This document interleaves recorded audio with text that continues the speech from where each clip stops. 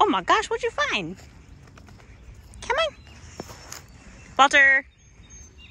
Eat it.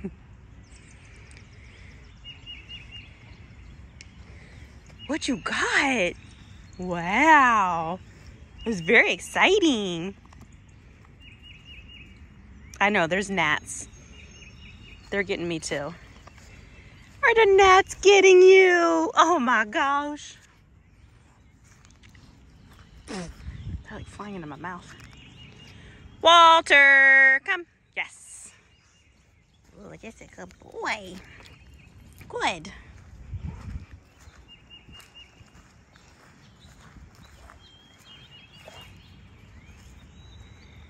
Walter, come. Yeah, good boy. Sit. Good. Stay. I know, these gnats. They're everywhere. You know, you gotta fix your ear and maybe it won't bother you so much.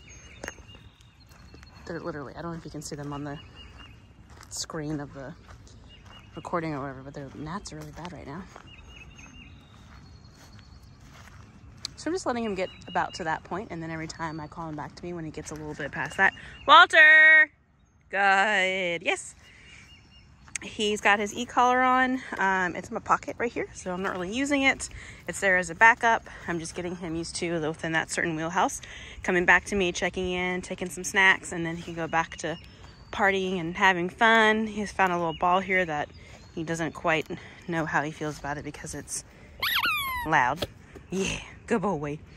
Um, but I'm to intermittently use the e-collar just to condition it. So um, I'm to have it here at a 7. And Walter, come.